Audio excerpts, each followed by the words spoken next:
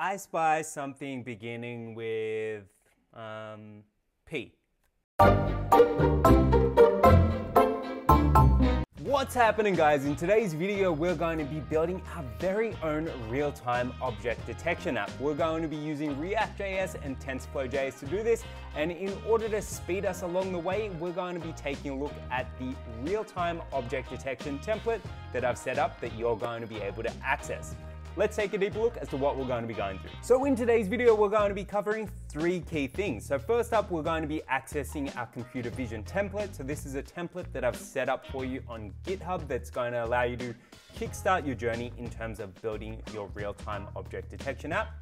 We're also going to be setting up and coding with COCO SSD. So for this, we're going to leverage the pre-built TensorFlow.js model. So this is going to allow us to make detections. And then last but not least, we're going to make real-time detections using our app and our webcam. So we'll actually be able to detect different objects within our frame.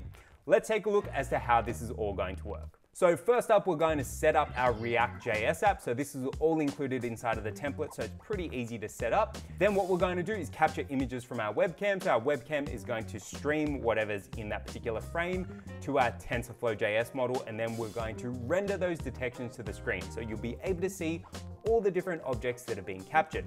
Ready to do it? Let's get to it. Alrighty, so in order to build our real-time object detection app using React and TensorFlow.js, we're going to be leveraging a couple of things that are going to help us along the way. So first and foremost, I've gone and set up this React computer vision template that's going to allow us to get up to speed a whole heap faster. So we're going to be able to clone this down and build our app from there. We've also got a, another repo, which is if you don't want to actually go on ahead and code and you just want to download the code and run it from the get-go, you can actually download this link. So this is called the Custom Object Detection React JS TensorFlow repo. Bit of a mouthful, I know, but everything that you need to actually run this without writing a single line of code is there.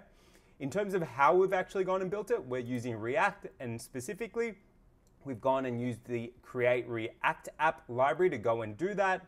And then we're also going to be leveraging TensorFlow.js. And if we go and take a look at the TF.js models, we're specifically going to be using the object detection model. So this model actually uses COCO SSD to allow us to go and perform real-time object detection. Enough blabbing, let's actually get started. So what we're actually going to do is we're going to clone this repo, so the React computer vision template, so we can copy that, and we're going to open up a new command prompt. And in order to clone this repo, we're just going to go into our D drive or a drive that you want to clone this into, and we're just going to type in git clone and then the name of our repository. So if we just minimize that for a second. So basically what we've written is git clone and then the link to our React computer vision template. Now all the links that I just mentioned, I'm going to make available in the description below. So if you want to pick those up, by all means, just grab them. You'll be able to get started super quick. So let's go on ahead and clone this. Awesome, so that's now cloned. Now if we open up our D drive, you should have a cloned repository. So let's go on ahead and open that up. So you can see, in fact, we've now got a folder called React Computer Vision Template, and this contains all the code we need to get started. Now, in order to go and build up from this, we're going to open it up inside of an integrated development environment or a coding environment. So in this case, we're going to be using VS Code. So what we'll do is we'll first up go into that directory and then we can open it up using the code dot command. This is only if you're using VS Code. So let's cd into it and then we can type in code and then dot and this will open it up inside of VS Code. And I'll just bring it onto the right screen and there you go. So inside of this folder we've got a bunch of stuff. So namely, we've got a CSS file, so app.css. We've got an app.js file, and this is where we're going to be doing the majority of our work. We've also got an index.css or css file and an index.js file. Now, as I mentioned, the majority of our work is going to be inside of our app.js file. But before we actually go on and start making some updates to our code, what we're going to do is just make sure we install our dependencies. So if you select package.json, let's make this a little bit bigger, you're going to be able to see all the dependencies that we've got within our application. Now in this case, the library that is most important is, or the package that is most important is the one named TensorFlow-models forward slash COCO-SSD. So this is the pre-trained Coco SSD model that we're going to be able to leverage from TensorFlow.js. Now we've also got TensorFlow.js, we've also got React. We can delete this finger pose one out because that's from a previous code set. And in order to go and install all of these, all we need to do is open up a new terminal. So I can just open one up by hitting control and the squiggly bracket. I never know what it's called. Uh, on a Mac, it's going to be command squiggly bracket. And then to go and install this stuff, we're just going to type in npm install and let that run. So this should take a couple of minutes to run, but once it's done, you're going to see a node underscore modules folder pop up. So we'll be right back in a second. Alrighty, so you can see that all of our packages have installed and we're back at our regular command line. Now what we're going to go and do is start making our updates to our app.js file. So if you actually take a look at this, so let's just make this a little bit smaller, you can see that we've got a bunch of to-dos. Now I've specifically called this out because it's basically going to walk you through the steps that you need to update in order to use this, but likewise if you wanted to use this for other use cases, you could do that as well. Here, what we're going to do is we're going to go through steps one, two, three, four, and five. And then by the time we've got through each one of those steps, we should effectively have a real-time object detection React app. So the first thing that we need to do is import the required model here. Now the model that we're actually going to need is actually coming out of our COCO SSD package. So let's go on ahead and import that model first up. Alrighty, so that's our first dependency imported. So the line that we've just written there is import star as COCO SSD from at TensorFlow-models forward slash COCO SSD. So this basically is allowing us to download our pre-trained TensorFlow.js model. The next thing that we need to do is actually import our drawing utility, but we're going to hold off on that until the end because the last thing that we want to do is draw. Now the next thing that we would need to do is actually go on ahead and load our network into our model. So let's go on ahead and do that. Okay, so that's our model loaded. So in order to do that, we've created a new variable called net. And then we've made this, because our function is asynchronous, we're just waiting for that to load. So here we're actually loading our COCO SSD model, and this is what we imported right up here. And then we're using the load method to actually go on ahead and bring it in. Now, if we go to step four, the next thing that we want to do is actually start making some detections. So really quickly, we're already up to making some detections. So let's go on ahead and start doing that. So once we get these detections, we're going to be able to start our application and actually log these out. So we'll actually be able to see how a model is actually performing. Alrighty, so that's the line of code that we need to actually make our detections. So basically what we're doing here is we're creating a new variable called obj or object, and we're using our network that we defined up here. So we're actually passing it through to this detect function. So we're using that network and we're passing through our video. So this is the video from our webcam and we're passing that to our detect function. So ideally we should be able to detect a bunch of objects. Then what we're doing is we're console logging that out. So we should be able to see the output of each one of these detections in our console. Now what we need to do is actually start up our app. So this is going to allow us to see our objects and whether or not our model is actually performing well. So to start our app, we just need to type in npm start. And this is going to start our React app and open up a new browser. So you can see to open up a new browser and it's gone directly to localhost 3000. So by default, this is where our React app is going to start. So let's give that a couple of seconds while it compiles and then ideally we should be able to see a couple of detections in our console. All right, so you can see that we've got our camera showing up on the screen. Now if we go and inspect our console, and if we open that up, you can see we're getting a bunch of detections here. And if we open this up, you can see that in fact we're making detections. So we've got a couple of things showing here. So we've got an array, and inside of our array, we've got a B box. This represents our bounding box, and each one of these represents a specific thing. So this is our X coordinate, this is our Y coordinate, and this is our box width and our box height. We can also see our different classes. So in this case, you can see the class as person because it's detecting me, and we can also see our score. But at the moment, we're not actually drawing anything to the screen. So let's stop our app and actually finish our drawing function so we'll actually be able to see our results.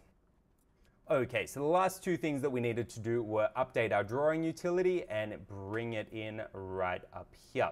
So let's go on ahead and do that. Now to start building our drawing utility, we're just going to right click on source, create a new file and call that utilities.js. And in here, we're going to define a function that's going to allow us to draw to the screen.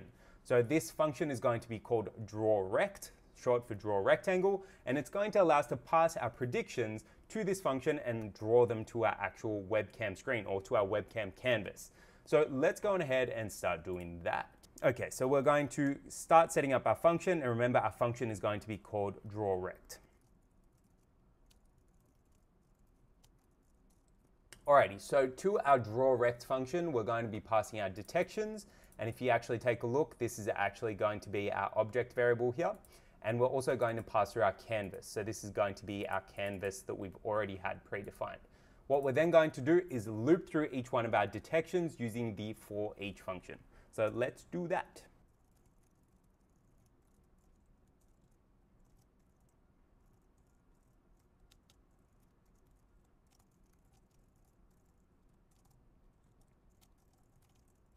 So the first thing that we're actually doing within our drawRect function is we're going and grabbing our x variable, our y variable, our width, and our height. So remember when we were console logging out our predictions, we were able to see our class and our text. These are exactly the same variables here. We're just extracting them out now. We're also extracting our class. So in this case, it was going to be person from our last prediction. Now the next thing that we want to do is set up some styling and actually go on ahead and draw our rectangles. So let's power through that.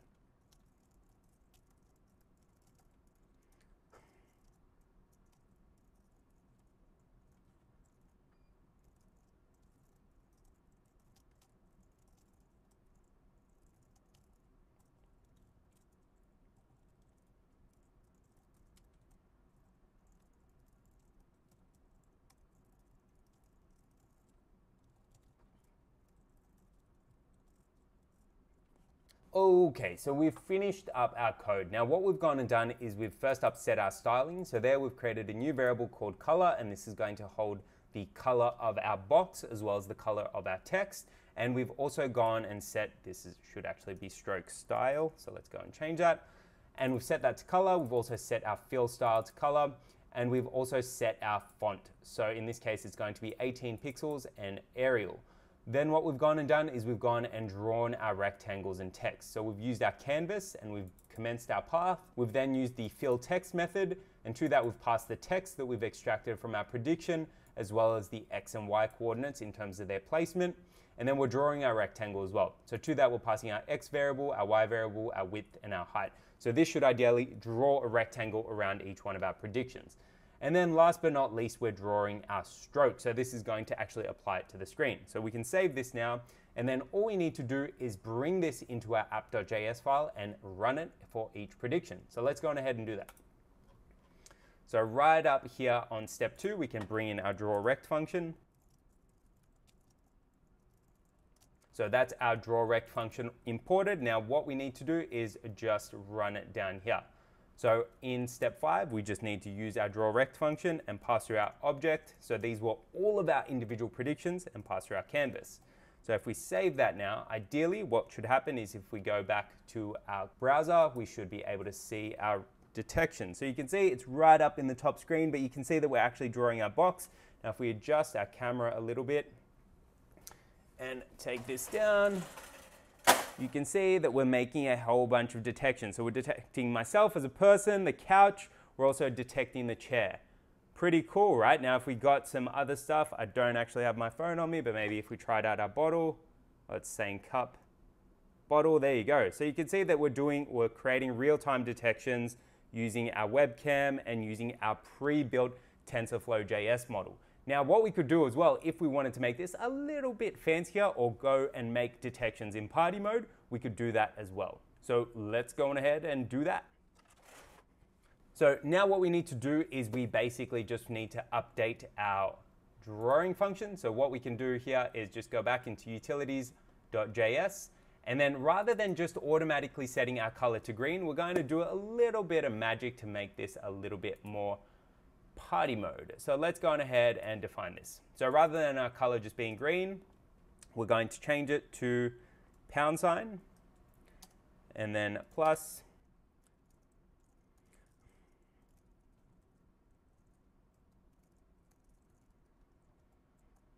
And if we save it now and go back to our app, you can see that our detections are now appearing in party modes. Our person is flashing, and if we go and use our bottle, you can see we're getting detections in party mode. And that about wraps it up. So we've gone through quite a fair bit. Now, if we go back and take a look at our app, we went through our importing of our model. We created our draw rect function and imported it there. We loaded up our neural network. Then we made our detections and we also drew it to our canvas. And that about wraps it up. Thanks so much for tuning in, guys. Hopefully, you found this video useful. If you did, be sure to give it a thumbs up, hit subscribe, and tick that bell so you get notified of when I'm releasing new videos. Let me know what you think of my Mo, and also let me know how you went about building your real-time object detection app. Thanks again for tuning in. Peace.